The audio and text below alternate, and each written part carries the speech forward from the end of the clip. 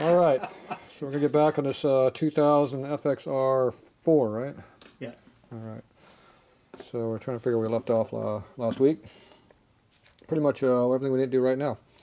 Okay, so we got some uh, lifter blocks, these fresh powder coats. So I'm gonna go ahead and clean these up a little bit. You're in charge of that. So we take our file. Make sure there's no high spots. You that out yet? No. Yeah, sort of. Just pops in. Maybe I heard it pop. Oh, yeah. You can feel the high spot when you come across it. When the file just rolls across like this, you get it cleaned up. This file has a smooth back so it doesn't tear up the gut block.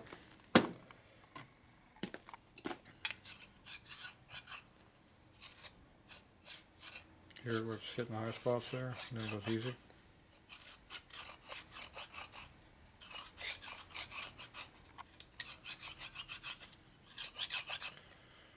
If you have cheap powder coat and you put pressure on the gasket, it'll blow the powder coat off. But this stuff probably is good, so don't do that.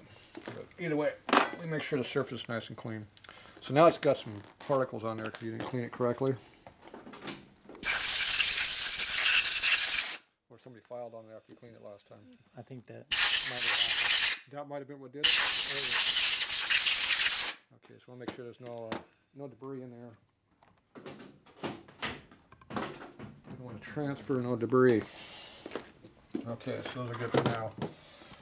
All right, we cleaned up that we'll use some new chrome hardware because you're cheap, or uh, you like good stuff. One or two.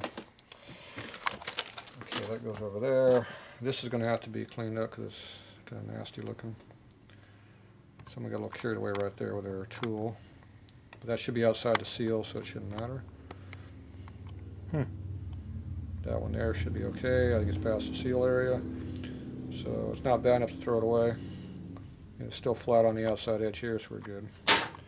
We'll be able to save that. Okay. Now you brought in a snap ring for this this time. Mm-hmm. Looks like that. So we can put this on there now.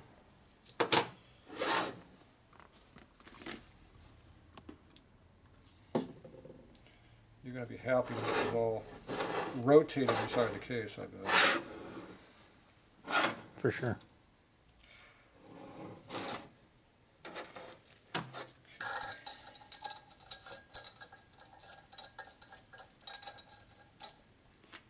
When you spin them, it screws, or moves a roller out and slides on.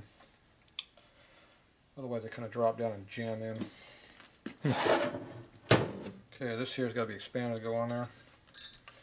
So unless you got some really strong thumbs, do I have really strong thumbs? No. Use a tool.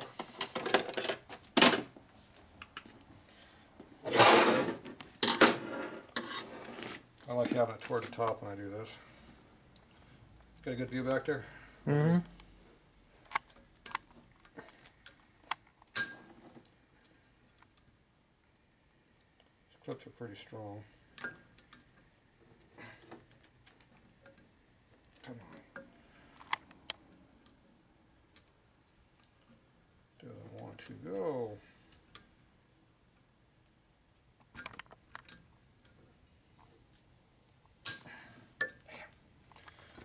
Not that I'm pushing very hard, but my fingers are getting sore.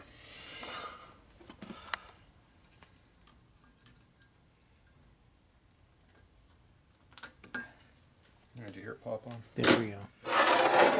Okay, it's not all the way on though, it's just partially on. So now I gotta shove it on the rest of the way.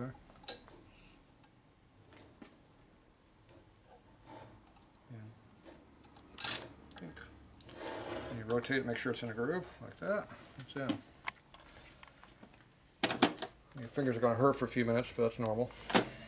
Pain's part of the game around here. Okay, you wanna make sure you got clearance on your bearings, so they're not tight. See how they slide? Gotcha. Very important. Okay, that part's done. Okay, this was, um, I think we're pretty well all cleaned up. Everything on this is done. Still got solvent on it from last week. How'd that happen? So I'm gonna file across this surface here to make sure it's good with that.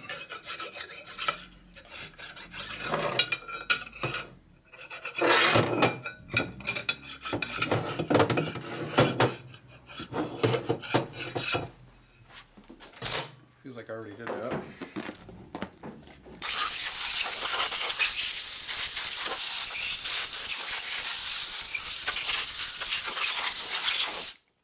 There we go.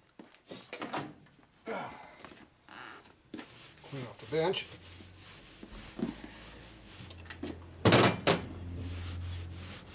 It's got some goo right here.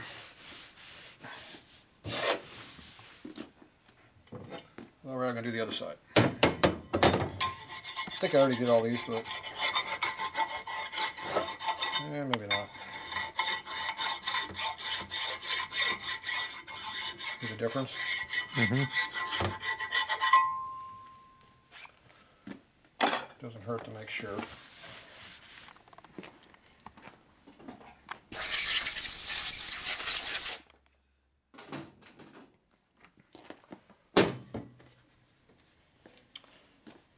Okay, now we didn't replace this Timken bearing, it was already done recently. So These are basically brand new. So we're good to go.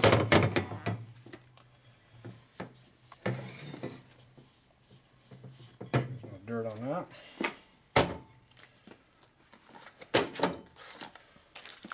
Brand new Harley bearings. This is for a 16 model, see, 1916. Maybe it's 2016.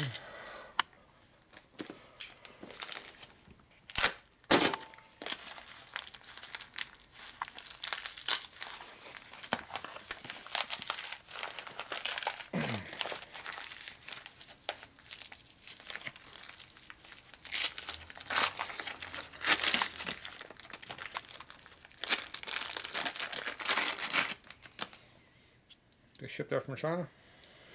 Probably, right? Okay. We're not using this. We're not using that. We're not using that.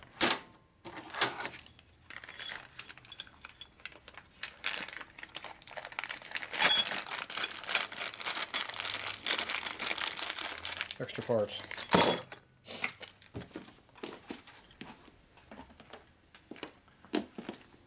Okay. So these parts we're going to use and the spacer. And the last one I just did a few a couple days ago was one and a half thou too fat. These are too thin. This one's huge, it's 10. That's pretty damn big. That's a big one. We'll see if that's what it needs. Okay, we're going to go ahead and work on this here. This is our seal spacer. Oh, look, you got two seals to choose from. Hmm. You got a genuine Harley one to use, or we have a genuine, Genuine Harley. Harley one. Yeah, jeez, those are like almost the same then, huh? Genuine Harley. Yeah, we're not screwing around around here. Okay, we want this, this slip to be nice and clean, so we're gonna go ahead and uh, do a little sanding on that. So let's go to the machine over here, of know what we're doing.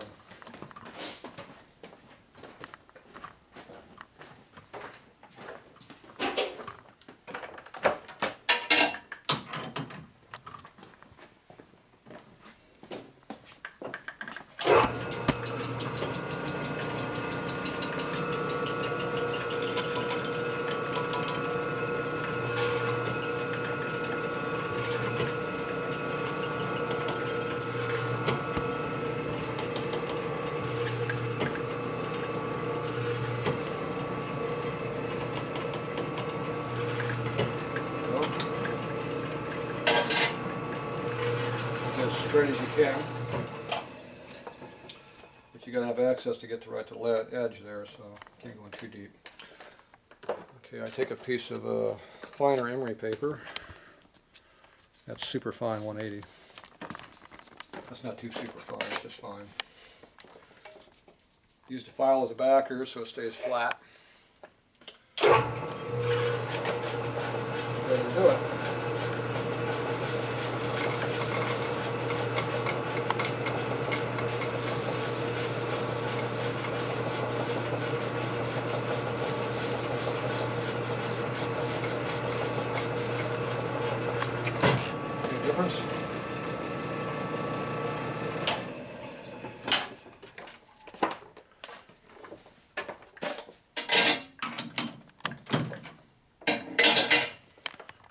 Now it's nice and smooth, see?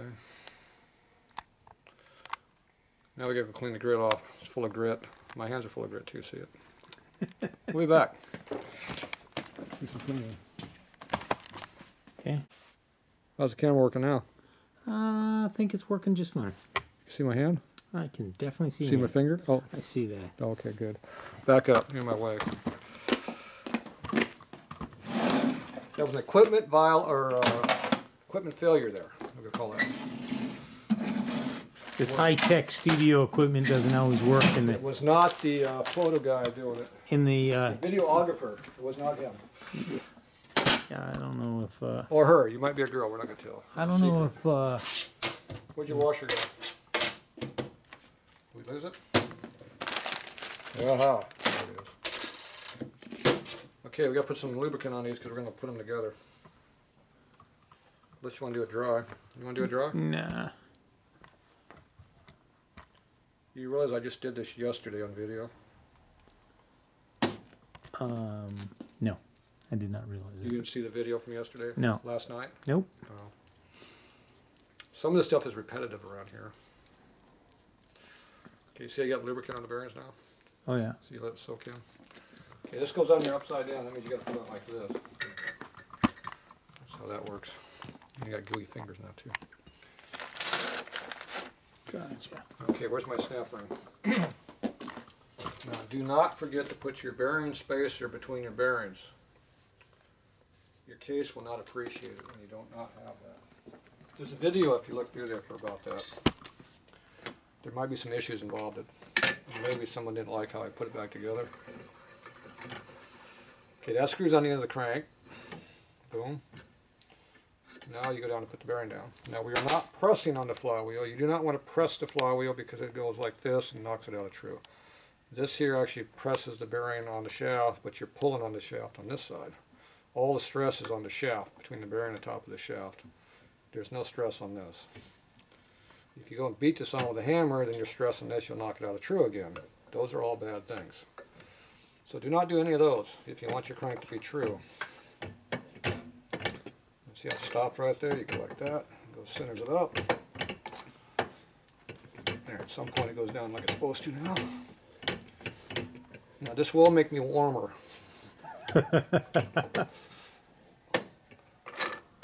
Yesterday I was had to sweat it off for an hour after I did that because I got warmed up. So the ambulance is coming here. That's the fire engine coming to war- cool me off. I'm getting hot.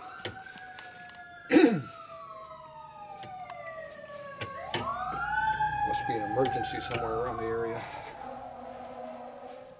He's got, he's got the hauling ass horn on too, you hear that?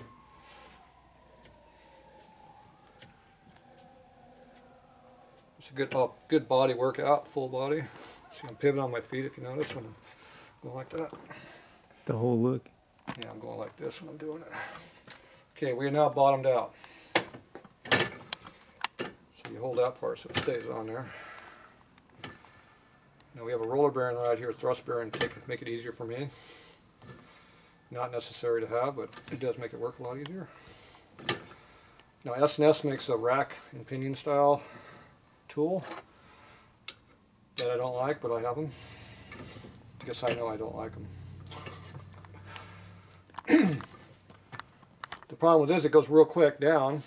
It puts a lot of stress on the wheel because you got to yank on it with a big breaker bar. Gotcha. But the biggest thing is you can't put a steady load on it. You go down and boom, you stopped. Hmm. So you can't have a fixed tight load and then check something, which you'll see in a minute. So I like this tool here. And yes, like most tools, it's been modified. This part here is not factory, this here is. And extended it, see? Okay, now, remember what I was gonna do before I put the case together? You remember? Zero. Drawing a blank from an hour ago. Oh yeah. Yeah. You know why I wanna do these now, before I put the motor together? Uh, so debris does not fall down into said motor. Ooh. You're smart. You figured that out all by yourself. Uh, no, actually, I remember you telling me about an hour ago. Oh, I actually said that? You did. You did. I will not tell a lie. Okay. I'll make sure you bleed out the name right here. There's a name right here we can't read. Oh, thank you. Yeah, look up there for a while. Some customers do not want to know, identify their cra- or special. Okay, so, there's instructions. You read them? Yeah, I got it. Good. I'm all over the instructions too. Okay, here's how you do this. Well, this one here, I might actually have to read it because it doesn't have a damn stop on these stupid bolts. What's up with that? Yeah, stupid. Okay, we need a nut. Okay, now this should be big on this side. It is not. So dumbass Harley makes them the same size on both, which is stupid. So that means it's not going to be tight in the case because I can take this nut and put it on this side easily. The older ones that were made better, they have a big side and a small side, and then they have a mm-hmm. shoulder. I like the one that has a shoulder that hits against the case. Bottom it right down Right, and it has Right. a nice oversized thread, so it goes in nice and tight and don't come out. and don't come out. This one here you can put on either direction. I don't like this style. So now there's going to be a dimension I have to read, so I actually have to go read instructions now. Damn. Ten to one, I bet you it doesn't say anything about any of that. Okay, it says this side is up. The Loctite patch is on the bottom side. Jeez, what a genius. Okay. These are made in 01, that's the problem. Twin cam error. Nothing's any good on twin cams. Okay, install studs. Install studs until free level length is 5.71 plus or minus 50 thousandths. So how much is 5 700? Just under three quarters of an inch. So five and three quarter. That would be how far? Uh, that'd be uh, six inches, so about a quarter inch. Just about a quarter inch less than what this is. Just about a quarter. Maybe just a quarter inch plus, quarter inch plus. plus, plus, a little extra. plus plus. A thirty second is probably about a good number to go by. That's fifty thou versus thirty-two, but it's close enough. Okay, so we're gonna have to come up with a way of doing that. Now, there's a couple different ways you can do this. I like the method I like, which is you put a ball bearing in here, put a stud on it, and tighten it down until you're where you want it to be. Quarter inch ball bearing. Whatever fits in the hole. Okay. I don't know what size it is. Oh, so not for length. I got you. It might be in my drawer over there, though. Hmm. I try to keep at least one over here, but sometimes customers borrow things.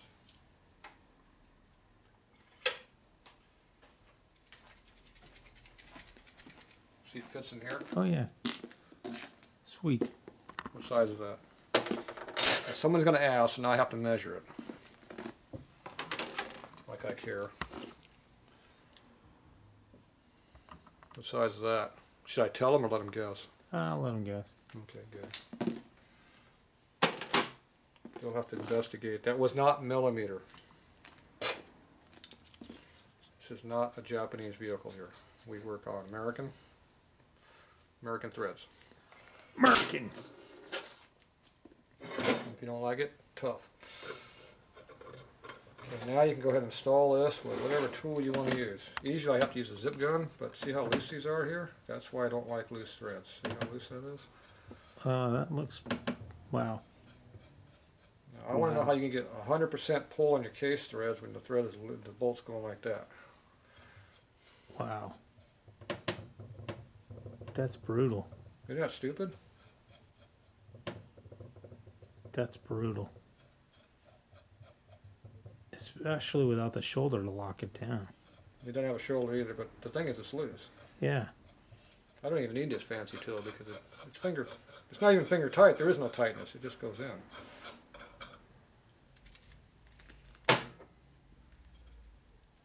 Okay, it started getting tight right there. So that means it's probably hitting the bottom of the thread. Yep. So if you look in the case in here, see how they don't thread it all the way down? Hmm. So if you look at the stud, it's at the bottom of the thread right now. See how it's in there? It just hit mm-hmm. it. How much you want to bet? It's about the right length right now, I bet. Oh, we are way too deep. Oh, we overshot it. We are just over five and a half. So it's a good thing I read the instructions, because now I know I have to back this up. Now, see, I have the seven hundred number right here, so I can go like this. It right at that seven ten number they wanted. I'm thinking that's about rare, but see, it's it kind of. That's all over the place. Now, what I want to know is when you go to put this on there, I might need that later. We lost our bearing over there somewhere. When you go to put this on here and you start screwing this thing down, what do you think's going to happen? It's gonna screw it down into the case, It's going to go right on down till the Yeah. bottom's out at that five and a half inch number. right? So you know what I think a Screaming Eagle, were those Screaming Eagle? Yep.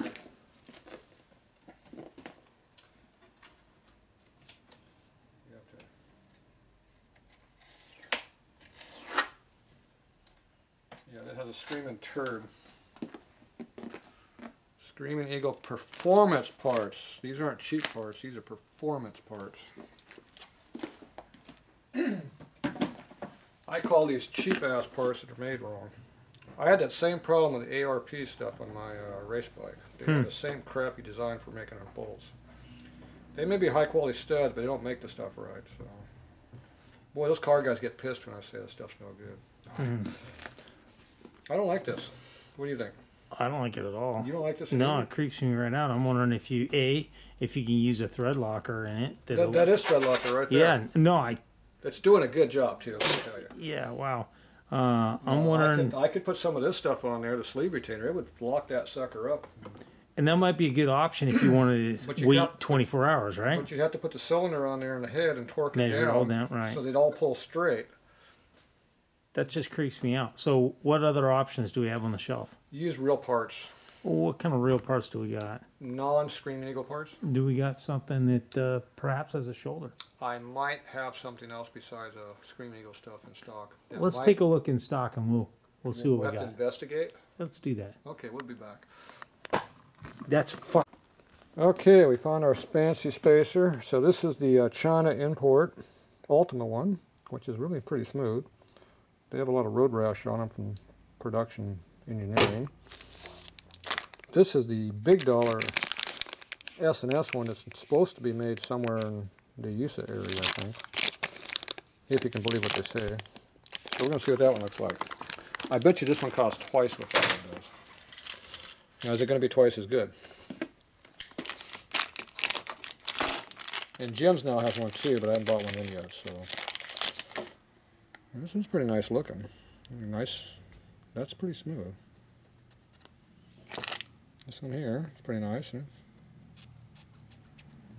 little bit rougher sounding, but not really not much. What are you looking at? You're moving. Hit them with the camera, you can see it. They all had little dimples in them, little markies. Hmm.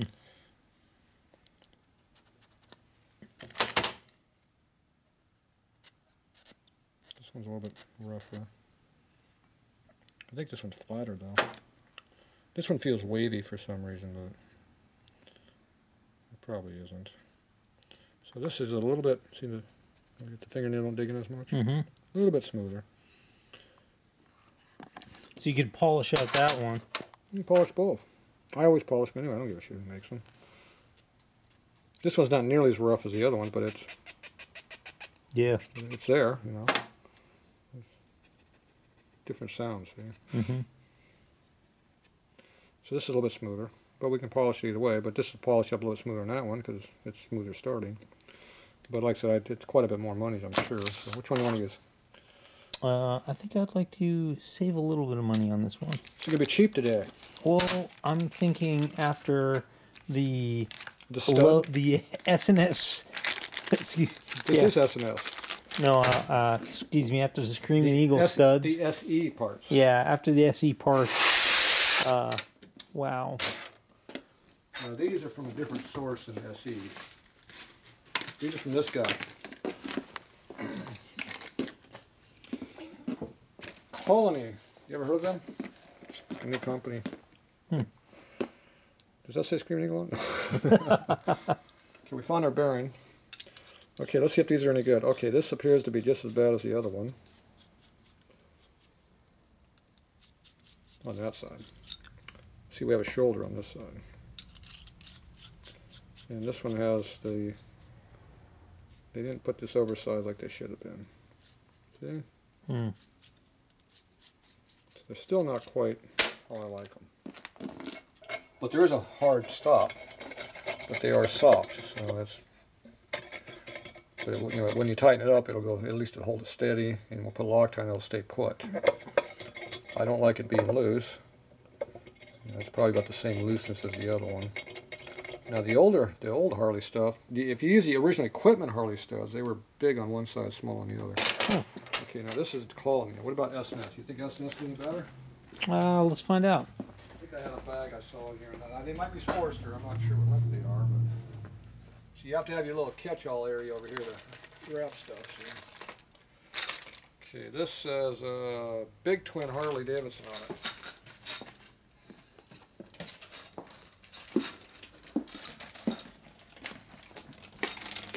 This appears to be an unopened package, sir.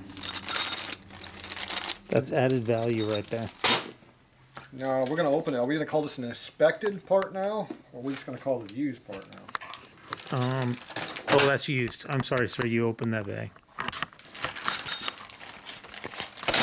Okay. Can you tell the difference? Negative. So it might be the same company made both of them. Might could very well be. Okay, that's that side is the same. Over this side.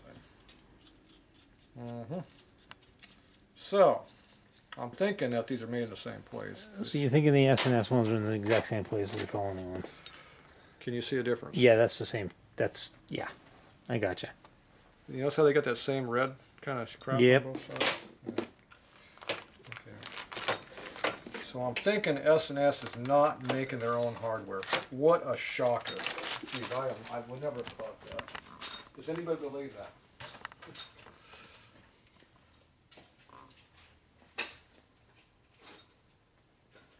Okay. I'm thinking we're gonna go with the, uh, colony ones. What do you think? I think that's the plan. Okay, and we're gonna use the non-S and S, Correct. Maybe non-US product here, just because we want to.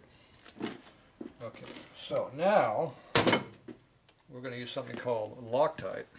Even though this is not Loctite, this is thread locker. We're not we're not using the green. No, this is called stud and bearing mount. You know, you put a little bit in there, that probably too much, I got a little carried away there.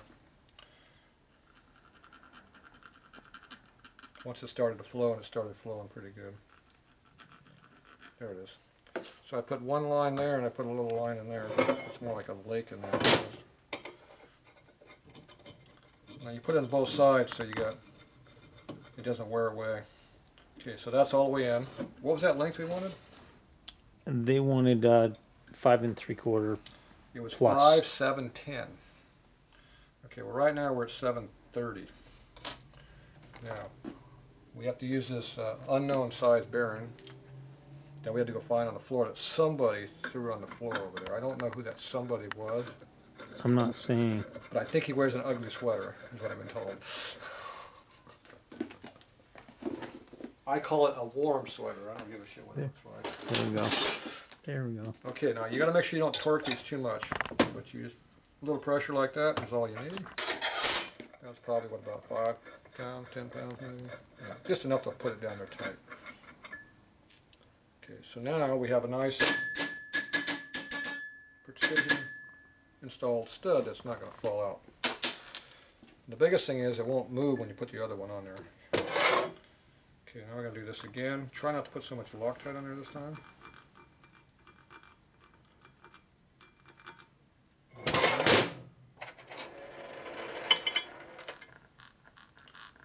Harley puts these shoulders on all over the places.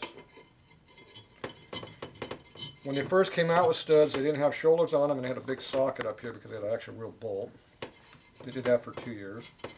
Then they got smart and they went to a nut. See, this is actually a nut, not a bolt. Call a sleeve nut. And they went to a stud that had no shoulders on it. Then they went to a stud that had a shoulder on the top, which didn't make any sense at all. Then they went to a shoulder on the bottom, like these are. And now I guess they're back to no shoulders again. But the problem is those other ones were tight when they went to case, they weren't loose, so. So Harley has gone backwards on their engineering. At least that's what I think. I could be wrong.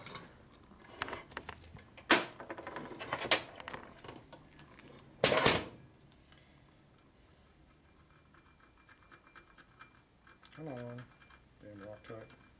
There it is. See how much Loctite you're putting in there? Just enough to put a little line in there. Gotcha. About the same amount on here.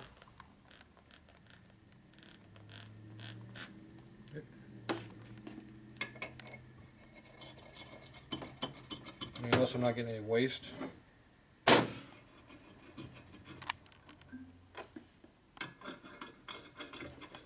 We didn't measure our height yet either.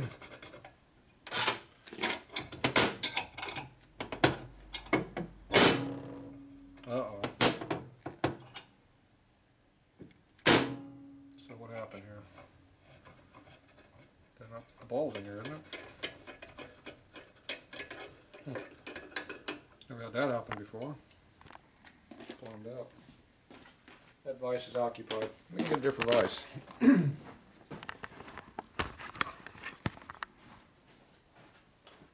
That is not supposed to do that.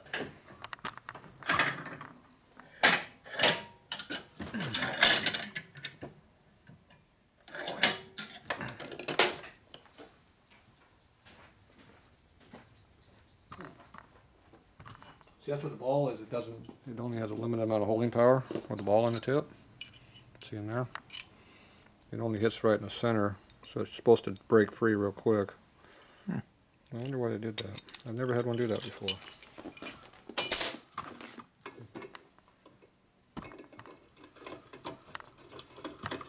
Well, I guess that's because they're not tight in the case is why they do that.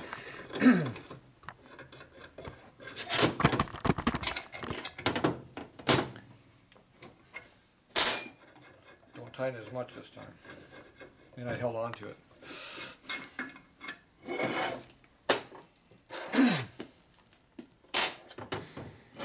Now this is a genuine case, it's not a replacement. That is correct. Okay, so we can't blame it on the holes being wrong.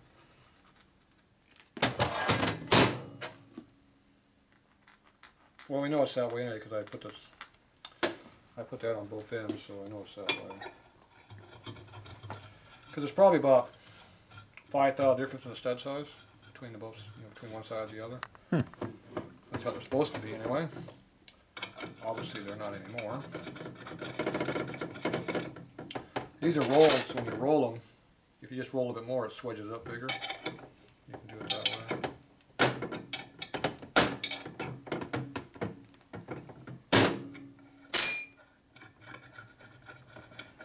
They can make it whatever size they want by swedging it. Mm-hmm. Okay, we want to what, five what? Five seven one. Five, seven, ten. About seven thirty. Seven twenty. Seven twenty-five, thirty. About seven twenty. Now, how good are my eyes? Questionable. Yeah, that's right. It is questionable.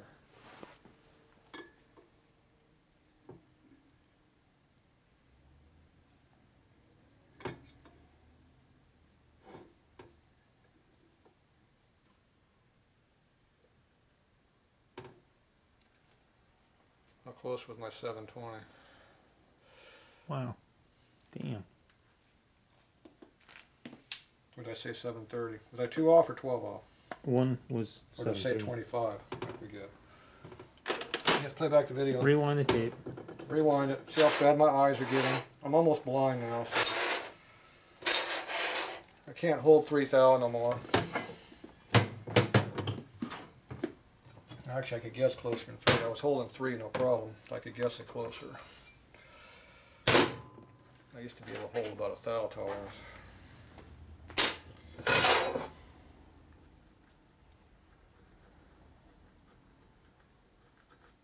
So I wanted to ask you a question. No, I didn't do that. There's a guy down the street. So you uh, you pretty much have grown up in the machine shop Yeah, pretty I- much your entire life. Your father was a machinist, You're not right? interviewing me, are you? Um, it's a little bit like an interview, Oh shit. but is that is that correct? Your father was a machinist? No. No. No.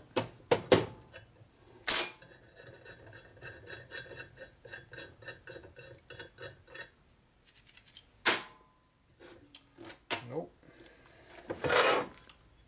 He did use uh, machines though. Aha. He's just not trained to be a machinist. Ah. Okay. Is there a difference? Uh, I I can clearly see that there must be a significant difference. I actually did go to machine shop school, so I'm technically a machinist. But you grew you grew up in basically around this your, your entire life. I kind of knew what I did when I went to school. I already knew how to use my tools. Yes. Right. I got you. I got you. It's Let's- that piece of paper you get. That's kind of old school though. A lot of people don't have that opportunity to grow up in a machine shop and be around that type of stuff, and this, and then go to school to get certified. And Well, it wasn't really a machine shop per se. We only had a lathe back when I was growing up. So oh, okay. when I was older, we'd pick up the milling machine. That was uh, a. Yeah, technically, I got, when I started working on by doing motors, that's about when you got the mill. So. Hmm. So I guess they kind of go together. That was in the mid '70s. You have to go look at the label the lathe. There's a date thing on the thing tells you when it was. I think he bought that stuff in '77. So. Wow. Yes, you've been doing this for a minute. And you've worked in aerospace? Nope. No? Solar? Uh, That's not aerospace. Dad worked in aerospace. He worked at Rohr. oh, He worked on B-52s in 52 wow. when they were first made. Right? yeah, he did that. Interesting. But that was not a machinist job, though. Called an assembler job, I guess. He used to build the uh, electric panels, hydraulic panels, whatever they were, some kind of panels that they put on the inside of the plane. Hmm. That was his job. He used to piss off everybody. Shocker. So it runs in the family, that's what you're saying. Yeah, yeah, it does. yeah, he used to make a lot more than they did, and they got didn't like that. So, Mm. and his always passed, and theirs didn't always. So, Right. imagine that. okay, there's your uh, your somewhat better studs than the other ones. So, what did you learn today? Uh, Besides, Dad knew something.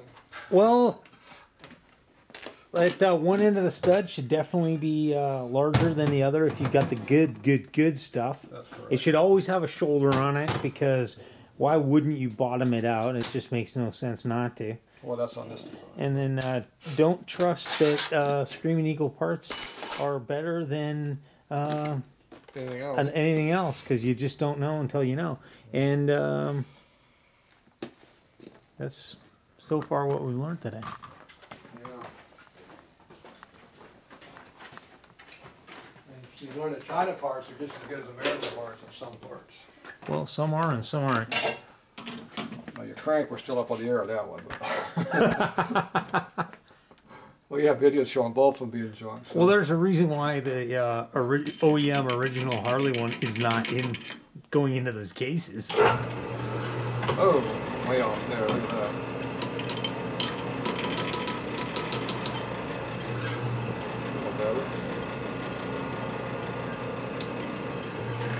嗯。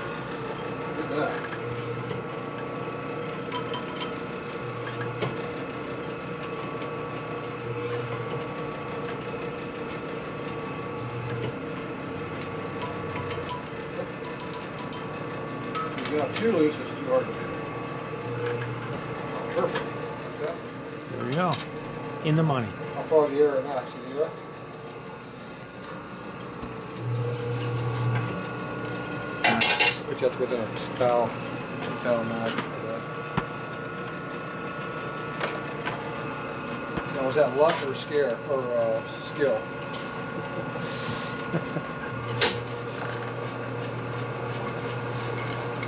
Some people don't like my lathe safety by having my arm.